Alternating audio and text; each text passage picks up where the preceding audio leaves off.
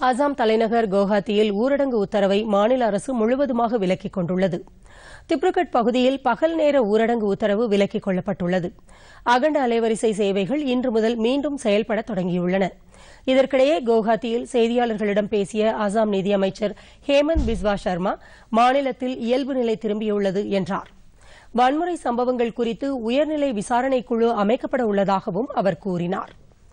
குடியுரிமை திருத்தச் சட்டத்திற்கு எதிரான போராட்டத்தின் போது வன்முறையில் ஈடுபட்டதாக கூறப்படும் நூற்று தொன்னூறு பேர் கைது செய்யப்பட்டிருப்பதாகவும் நூற்று முப்பத்தி ஆறு வழக்குகள் பதிவு செய்யப்பட்டிருப்பதாகவும் அவர் தெரிவித்தார். புதிய சட்டத்தின் மூலம் அசாமில் அதிகபட்சமாக ஐந்து லட்சத்து நாற்பத்தி இரண்டாயிரம் பேர் குடியுரிமை பெறுவார்கள் என்றும் அமைச்சர் தெரிவித்தார்.